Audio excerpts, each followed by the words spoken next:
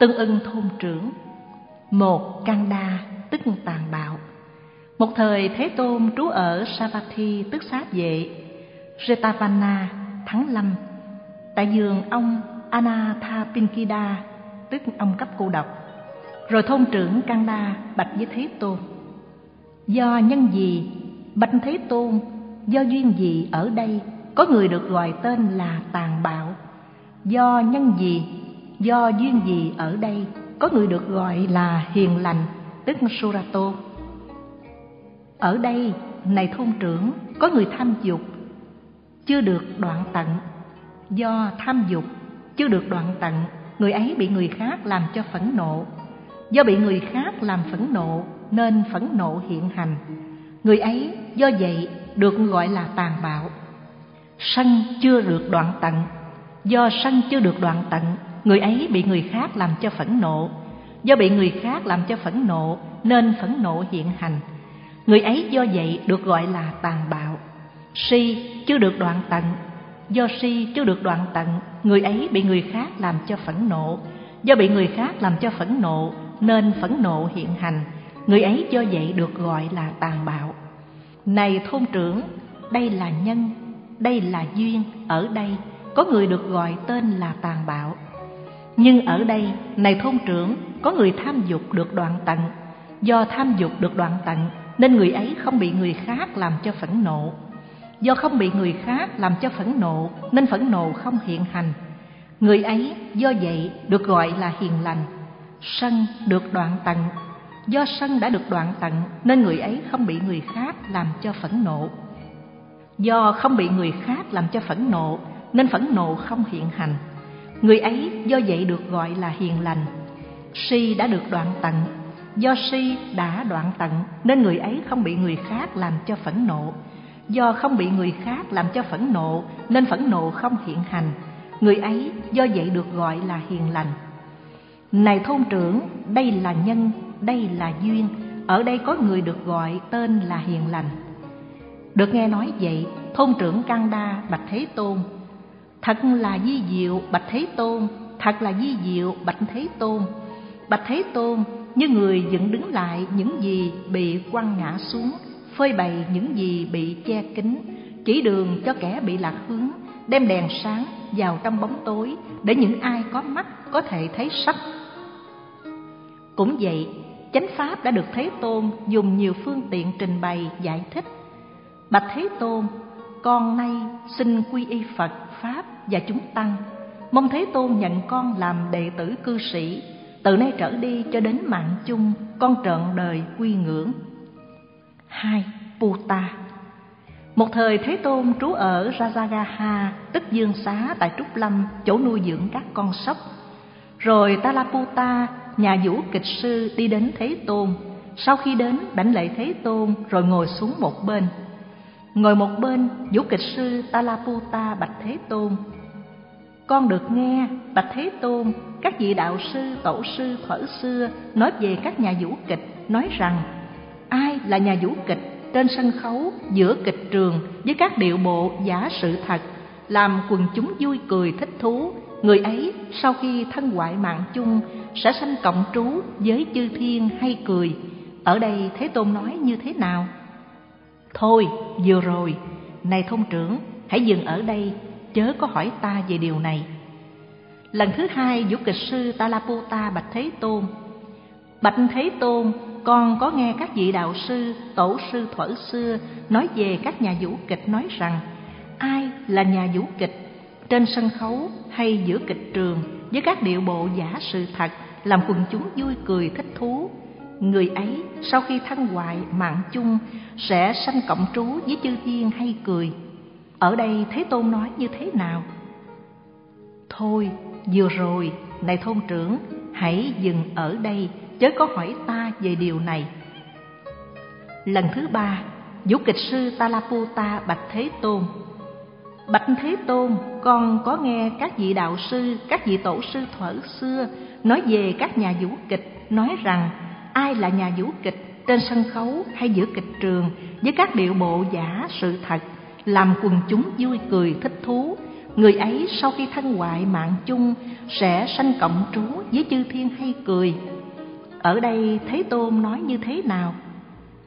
Thật sự ta đã không chấp nhận và nói rằng, thôi, vừa rồi, này thôn trưởng, hãy dừng ở đây, chớ có hỏi ta về điều này. Tuy vậy ta sẽ trả lời cho ông. Này thôn trưởng, đối với những loài hữu tình thuở trước chưa đoạn trừ lòng tham, còn bị lòng tham trói buộc, nếu nhà vũ kịch trên sân khấu hay trong kịch trường tập trung những pháp hấp dẫn, thời khiến lòng tham của họ càng tăng thịnh. Này thôn trưởng, đối với những loại hữu tình thuở trước chưa đoạn trừ lòng sân, còn bị lòng sân trói buộc nếu nhà vũ kịch trên sân khấu hay trong kịch trường tập trung những pháp liên hệ đến sân, thời khiến cho lòng sân của họ càng tăng thịnh. Này thôn trưởng, đối với loài hữu tình thuở trước chưa đoạn trừ lòng si, còn bị lòng si trói buộc, nếu nhà vũ kịch trên sân khấu hay trong kịch trường tập trung những pháp liên hệ đến si, thời khiến cho lòng si của họ càng tăng thịnh. Người ấy tự mình đắm say phóng vật, làm người khác đắm say và phóng vật sau khi thân hoại mạng chung, sẽ sanh trong địa ngục hí tiếu. Nếu người ấy có tà kiến như sau, người vũ kịch nào trên sân khấu hay giữa kịch trường với các điệu bộ giả sự thật làm quần chúng vui cười thích thú, người ấy sau khi thân hoại mạng chung sẽ sanh cộng trú với chư thiên hay cười. Nói vậy là tà kiến. Ai rơi vào tà kiến? Này thôn trưởng, ta nói rằng người ấy chỉ có một trong hai sanh thú một là địa ngục, hai là súc sanh. Khi được nói vậy vũ kịch sư talaputa phát khóc và rơi nước mắt. Chính vì vậy, này thôn trưởng, ta đã không chấp nhận và nói, thôi, vừa rồi, này thôn trưởng hãy dừng ở đây, chớ có hỏi ta về điều này. Bạch thế tôn, con khóc không phải vì thế tôn đã nói như vậy, nhưng bạch thế tôn, vì con đã bị các đạo sư các tổ sư vũ kịch thời trước đã lâu ngày lừa dối con, dối trá con, dắt dẫn lầm lạc con rằng, người vũ kịch nào trên sân khấu hay giữa kịch trường, với các điệu bộ giả sự thật, làm quần chúng vui cười thích thú, người ấy sau khi thăng hoại mạng chung sẽ sanh cộng trú với chư thiên hay cười. Thật là di diệu bạch thế tôn, thật là di diệu bạch thế tôn bạch thế tôn như người dựng đứng lại những gì bị quăng ngã xuống, phơi bày những gì bị che kín, chỉ đường cho kẻ bị lạc hướng, đem đèn sáng vào trong bóng tối, để những ai có mắt có thể thấy sắc. Cũng vậy, chánh pháp đã được thế tôn dùng nhiều phương tiện trình bày giải thích. Bạch thế tôn, con nay xin quy y phật pháp và chúng tăng, mong thế tôn cho con được xuất gia với thế tôn, được thọ đại giới vũ kịch sư talaputa được xuất gia với thế tôn, được thọ đại giới. Thọ đại giới không bao lâu, tôn giả talaputa trở thành một vị a la hán nữa. Ba. Radha Sivo tất cả chiến đấu. Rồi chiến đấu sư Soha Sivo đi đến Thế Tôn. Sau khi đến đảnh lễ Thế Tôn, rồi ngồi xuống một bên. Ngồi xuống một bên chiến đấu sư Bạch Thế Tôn. Con được nghe Bạch Thế Tôn, các vị đạo sư, tổ sư thuở xưa nói về các chiến đấu viên, nói rằng, vị chiến đấu viên nào trong chiến trường hăng say tinh tấn, do hăng say tinh tấn như vậy, bị người khác tàn sát, đánh bại, vị ấy sau khi thân hoại mạng chung, được sanh cộng trú với chư thiên tên là sarasita ở đây thế tôn nói như thế nào? Thôi, vừa rồi này, chiến đấu sư, hãy dừng ở đây chứ có hỏi ta về điều này. Lần thứ hai. Lần thứ ba, chiến đấu sư bạch thế tôn. Bạch thế tôn, con được nghe các vị đạo sư, tổ sư, thuở xưa nói về các chiến đấu viên, nói rằng vị chiến đấu viên nào trong chiến trường hăng say tinh tấn, do hăng say tinh tấn như vậy, bị người khác tàn sát, đánh bại vị ấy sau khi thân ngoại mạng chung được sanh cộng trú với chư thiên tên là sarasita ở đây thế tôn nói như thế nào? Thật sự ta đã không chấp nhận và nói rằng thôi vừa rồi này chiến đấu sư hãy dừng ở đây chớ có hỏi ta về điều này tuy vậy ta sẽ trả lời. Này thôn trưởng đối với chiến đấu viên nào trong chiến trường hăng say tinh tấn tâm của vị ấy trước đó phải có những ý nghĩ thấp kém, ác ý, ác nguyện như sau. Mong rằng các loài hữu tình ấy bị giết, bị bắt, bị tàn sát, bị tàn hại. Hay mong họ chớ có tồn tại, do vị ấy hăng hái, tinh tấn như vậy. Nếu vị ấy bị người khác tàn sát, đánh bại, thời người ấy sau khi thân hoại mạng chung bị sanh vào địa ngục tên là Sarasita. Nếu người ấy có tà kiến như sau, vị chiến đấu viên nào giữa chiến trường hăng say tinh tấn do hăng say tinh tấn như vậy, bị người khác tàn sát, đánh bại. Vì ấy, sau khi thân ngoại mạng chung, được sanh cộng trú với chư thiên tên là sarasita. Như vậy là tà kiến. Ai rơi vào tà kiến này? Này, chiến đấu sư, ta nói rằng, người ấy chỉ có một trong hai sanh thú. Một là địa ngục, hai là súc sanh. Khi được nói vậy, vị chiến đấu sư phát khóc rơi nước mắt. Chính vì vậy, này thôn trưởng, ta không chấp nhận và nói, Thôi, vừa rồi, này chiến đấu sư, hãy dừng ở đây, chớ có hỏi ta về điều này. Bạch Thế Tôn, con khóc không phải vì Thế Tôn đã nói như vậy, nhưng Bạch Thế Tôn, vì con đã bị các đạo sư, các tổ sư, các chiến đấu viên thợ trước đã lâu ngày lừa dối con, dối trá con, dắt dẫn con lầm lạc nói rằng ai là người chiến đấu viên giữa các chiến trường hăng say, tinh tấn? Do hăng say, tinh tấn như vậy, bị người khác tàn sát, đánh bại. Vị ấy, sau khi thân hoại mạng chung, được sanh cộng trú với chư thiên tên là sarasita. Thật di diệu thay bạch thế tôn, từ nay cho đến mệnh chung, con trọn đời quy ngưỡng. Bốn, voi. Giống như kinh trước chỉ khác đấy là vị tượng sư hay người nài voi. Ngựa, giống như kinh trước, chỉ khác đấy là vị mã sư hay người huấn luyện ngựa. Sáu, người đất phương tây hay người đã chết. Một thời thế tôn trú ở nalanda tại rừng paravikampa, rồi thông trưởng Asipanha kaputa đi đến thế tôn sau khi đến đảnh lễ Thế Tôn rồi ngồi xuống một bên. Ngồi xuống một bên, thôn trưởng Asipan Kahaputa bạch Thế Tôn. Bạch Thế Tôn, các vị Bà La Môn trú đất phương Tây mang theo bình nước, đeo vòng hoa huệ, nhờ nước được thanh tịnh. Những người thờ lửa, khi một người đã chết, đã mệnh chung, họ nhắc bổng và mang vị ấy ra ngoài, kêu tên vị ấy lên và dẫn vị ấy vào thiên giới. Còn Thế Tôn bạch thế tôn là bậc a la hán chánh đẳng giác, thế tôn có thể làm như thế nào cho toàn thể thế giới sau khi thân ngoại mạng chung được sanh lên thiện thú, thiên giới, cõi đời này? Vậy này thôn trưởng, ở đây ta sẽ hỏi ông, nếu ông kham nhẫn hãy trả lời. Này thôn trưởng, ông nghĩ thế nào? Ở đây, một người sát sanh lấy của không cho, sống theo tà hạnh trong các dục, nói láo, nói hai lưỡi nói lời độc ác, nói lời phù phiếm, tham lam, sân hận theo tà kiến. Rồi một quần chúng đông đảo tụ tập, tụ họp lại, cầu khẩn tán dương, chắp tay đi cùng khắp và nói rằng mong người này sau khi thân ngoại mạng chung được sanh lên thiện thú, thiên giới, cõi đời này. Ông nghĩ thế nào, này thôn trưởng? Người ấy do nhân cầu khẩn của đại quần chúng ấy, hay do nhân tán dương, hay do nhân chấp tay đi cùng khắp sau khi thân ngoại mạng chung, người ấy được sanh lên thiện thú, thiên giới, cõi đời này. Thưa không, bạch thế tôn, ví như này thôn trưởng, có người lấy một tảng đá lớn ném xuống một hồ nước sâu, rồi một quần chúng đông đảo tụ tập, tụ họp lại, cầu khẩn tán dương, chắp tay đi cùng khắp và nói rằng, hãy đứng lên, tảng đá lớn, hãy nổi lên tảng đá lớn, hãy trôi vào bờ, này tảng đá lớn. Ông nghĩ thế nào, này thôn trưởng? Tảng đá lớn ấy do nhân cầu khẩn của đại quần chúng ấy, hay do nhân tán dương, hay do nhân chấp tay đi cùng khắp, có thể trồi lên, hay nổi lên, hay trôi dạt vào bờ không?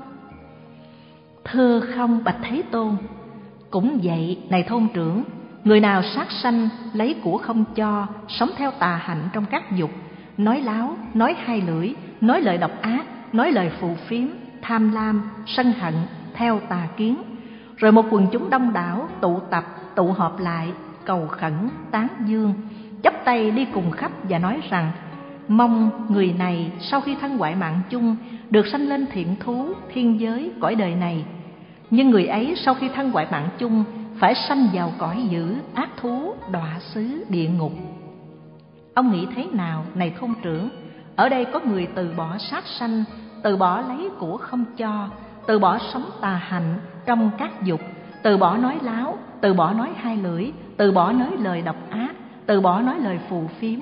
Không có tham, không có sân hận, có chánh tri kiến. Rồi một quần chúng đông đảo tụ tập, tụ họp lại, cầu khẩn tán dương, chắp tay đi cùng khắp và nói rằng, mong người này sau khi thân ngoại mạng chung, được sanh vào cõi dữ, ác thú, đọa xứ địa ngục. Ông nghĩ thế nào, này thôn trưởng người ấy do nhân cầu khẩn của quần chúng đông đảo ấy, hay do nhân tán dương, hay do nhân chắp tay đi cùng khắp, sau khi thân ngoại mạng chung, có thể sanh vào cõi dữ, ác thú, đọa xứ, địa ngục không? Thưa không, bạch thế tôn. Ví như này thôn trưởng, có người nhận chìm một ghè sữa đông, hay một ghè dầu vào trong một hồ nước sâu, rồi đập bể ghè ấy. Ở đây, ghè ấy trở thành từng miếng dụng hay từng mảnh dụng và chìm xuống nước. Còn sữa đông hay dầu thời nổi lên trên. Rồi một quần chúng đông đảo tụ tập, tụ họp lại cầu khẩn tán dương chắp tay đi cùng khắp và nói, hãy chìm xuống này sữa đông và dầu. Hãy chìm xuống sâu này sữa đông và dầu. Hãy chìm xuống tận đáy này sữa đông và dầu. Ông nghĩ thế nào? Này thôn trưởng, sữa đông ấy, dầu ấy có do nhân cầu khẩn của đám đông quần chúng đông đảo ấy, do nhân tán dương, do nhân chấp tay đi cùng khắp của quần chúng đông đảo ấy, nên bị chìm xuống, hay chìm sâu xuống, hay đi xuống tận đáy không?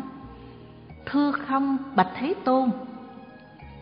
Cũng vậy, này thôn trưởng, có người từ bỏ sát sanh, từ bỏ lấy của không cho, từ bỏ sống tà hạnh trong các dục, từ bỏ nói láo, từ bỏ nói hai lưỡi, từ bỏ nói lời độc ác từ bỏ nói lời phù phiếm, không có tham, không có sân, theo chánh tri kiến. Rồi một quần chúng đông đảo tụ tập, tụ họp lại, cầu khẩn tán dương, chắp tay đi cùng khắp và nói, mong rằng người này, sau khi thân hoại mạng chung, sẽ sanh vào cõi dữ ác thú, đọa xứ, địa ngục. Nhưng người ấy sau khi thân hoại mạng chung, sẽ sanh lên thiện thú, thiên giới, cõi đời này. Khi nghe nói vậy thôn trưởng Asipan Hakaputa bạch Thế Tôn. Thật di diệu thay bạch Thế Tôn, Từ nay cho đến mạng chung con trọn đời quy ngưỡng.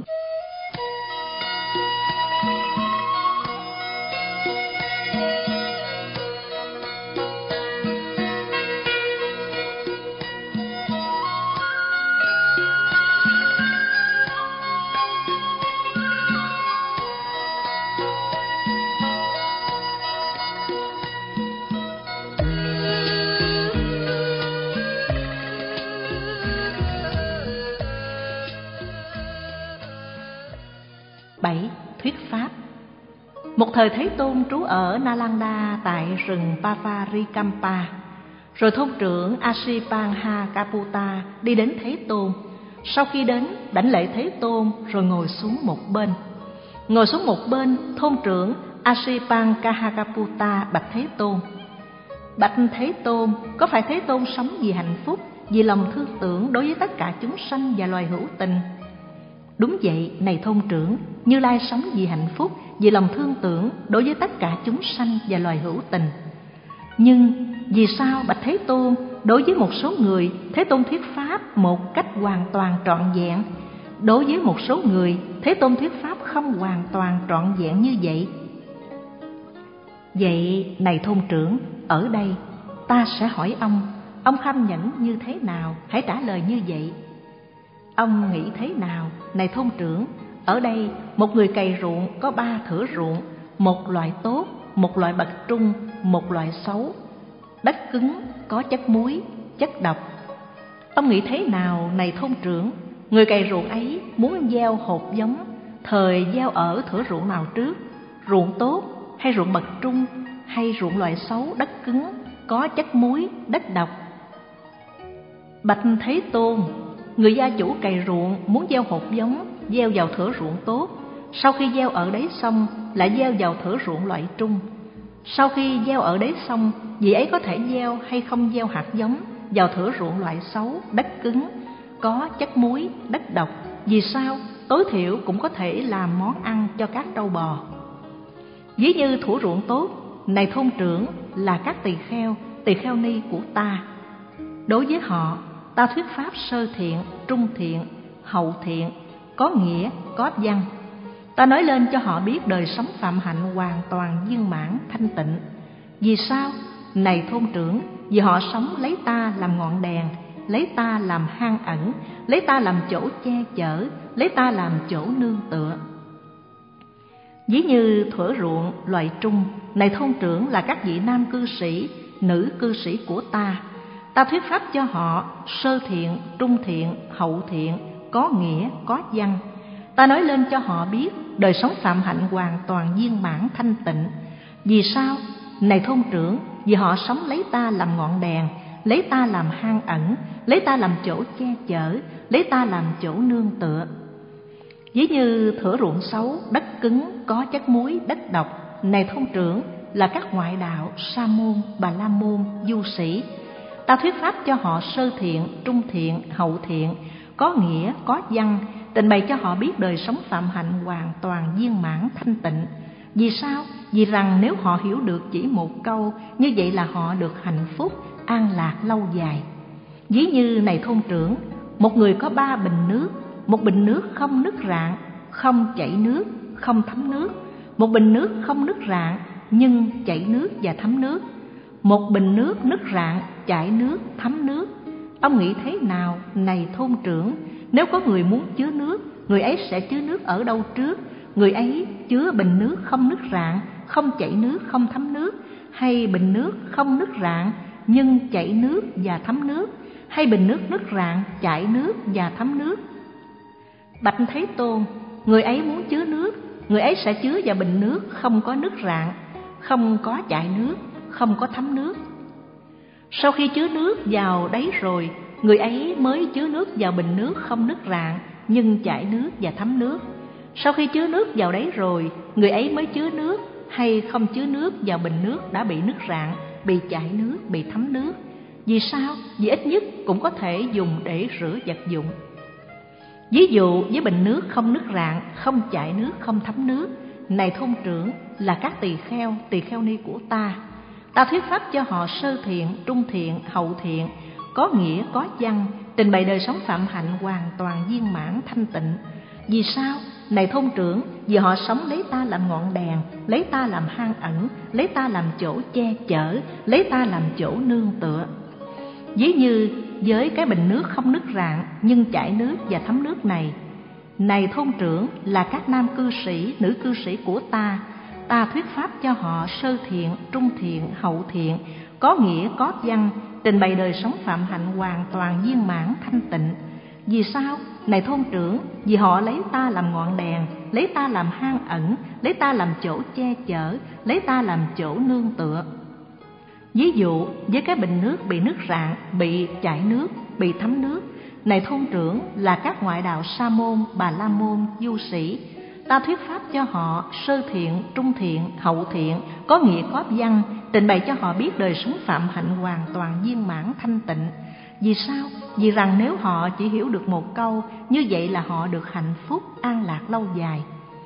Khi được nghe nói vậy, thôn trưởng Asipan Kahaputa Bạch Thế Tôn Thật di diệu thay, Bạch Thế Tôn, từ nay cho đến mạng chung, con trọn đời quy ngưỡng.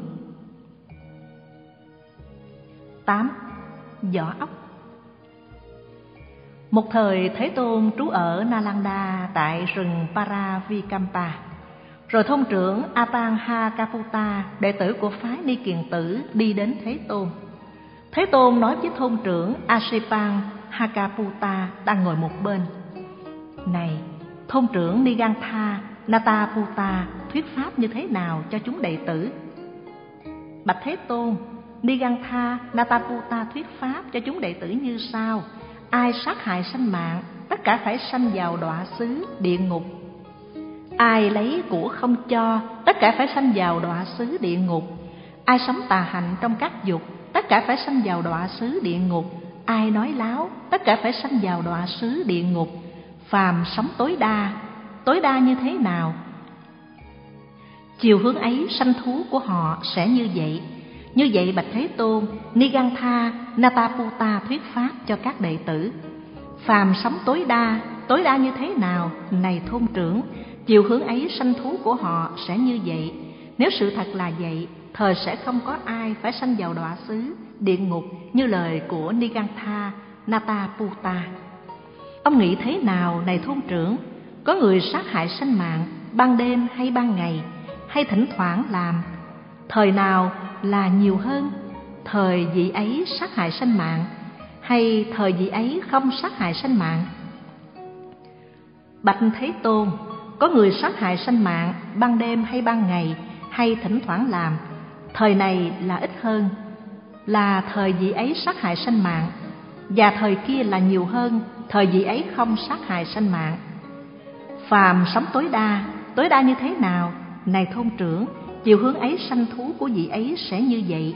Nếu sự thật là vậy, thời sẽ không có ai phải sanh vào đọa xứ, địa ngục như lời của nigantha nataputa ông nghĩ thế nào, này thôn trưởng? Có người lấy của không cho, ban đêm hay ban ngày, hay thỉnh thoảng làm? Thời nào là nhiều hơn? Thời vị ấy lấy của không cho, hay thời vị ấy không lấy của không cho? Bạch thế tôn, có người lấy của không cho? Ban đêm hay ban ngày, hay thỉnh thoảng làm. Thời này là ít hơn. Thời vị ấy lấy của không cho, và thời kia là nhiều hơn. Thời vị ấy lấy của không cho. Phàm sống tối đa tối đa như thế nào? Này thôn trưởng, chiều hướng ấy, sanh thú của vị ấy sẽ như vậy. Nếu sự thật là vậy, thời sẽ không có ai sanh vào đọa xứ, địa ngục, như lời của nigantha nataputa ông nghĩ thế nào, này thôn trưởng?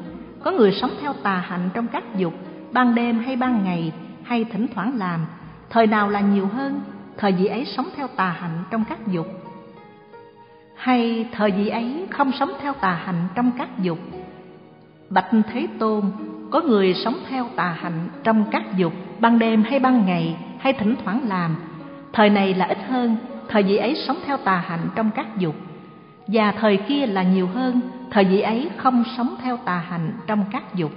Phàm sống tối đa tối đa như thế nào? Này thốt trưởng, chiều hướng ấy sanh thú của vị ấy sẽ như vậy. Nếu sự thật là vậy, thời không có ai sẽ sanh vào đọa xứ, địa ngục như lời của nigantha nataputa.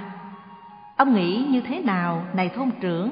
Có người sống nói láo, ban đêm hay ban ngày, hay thỉnh thoảng nói, thời nào là nhiều hơn?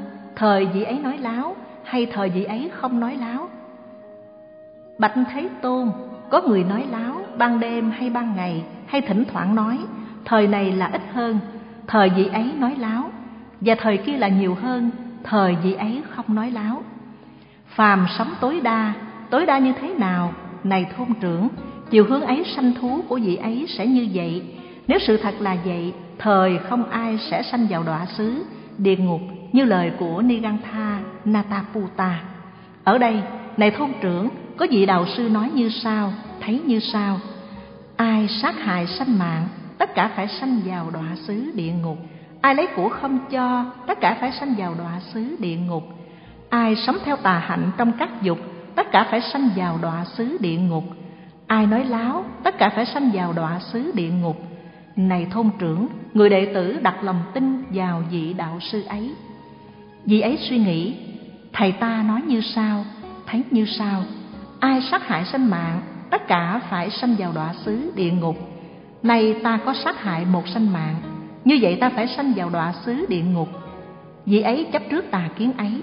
Này thôn trưởng, không đoạn tận lời ấy, không đoạn tận tâm ấy, không từ bỏ kiến ấy, vị ấy chắc chắn sẽ rơi vào địa ngục như vậy.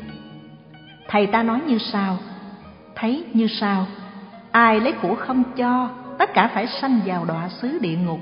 Nay ta có lấy của không cho như vậy ta phải sanh vào đọa xứ địa ngục. Vì ấy chấp trước tà kiến ấy này thôn trưởng không đoạn tận lời ấy không đoạn tận tâm ấy không từ bỏ kiến ấy vì ấy chắc chắn rơi vào địa ngục vậy. Thầy ta nói như sao thấy như sao ai sống theo tà hạnh trong các dục tất tất cả phải sanh vào đọa xứ địa ngục. Này ta sống theo tà hạnh trong các dục, như vậy ta phải sanh vào đọa xứ địa ngục. Vì ấy chấp trước tà kiến ấy, này thôn trưởng, không đoạn tận lời ấy, không đoạn tận tâm ấy, không từ bỏ kiến ấy, vì ấy chắc chắn rơi vào địa ngục như vậy.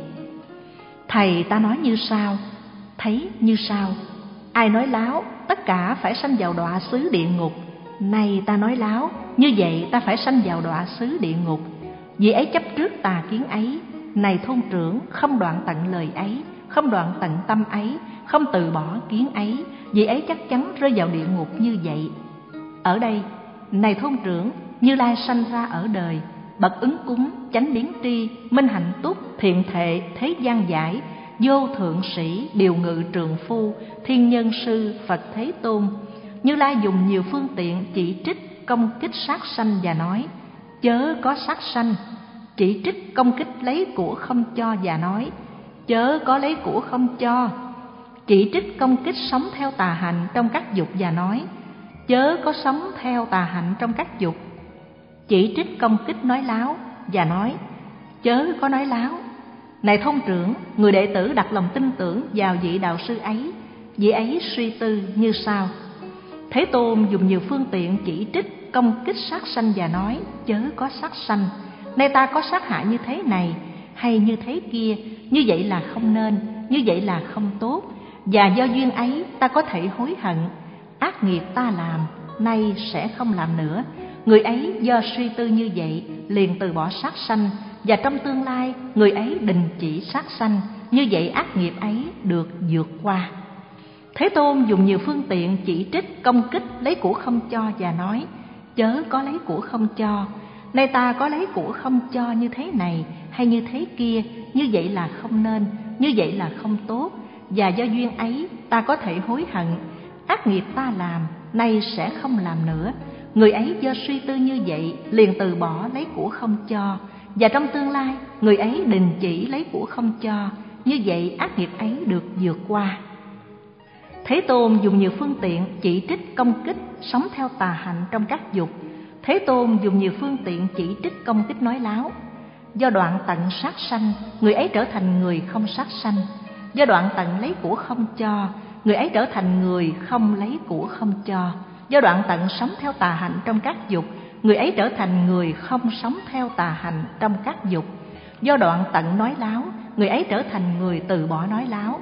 Do đoạn tận nói hai lưỡi, người ấy trở thành người từ bỏ nói hai lưỡi. Do đoạn tận nói lời độc ác người ấy trở thành người từ bỏ nói lời độc ác do đoạn tận lời nói phù phiếm. Người ấy trở thành người từ bỏ lời nói phù phiếm.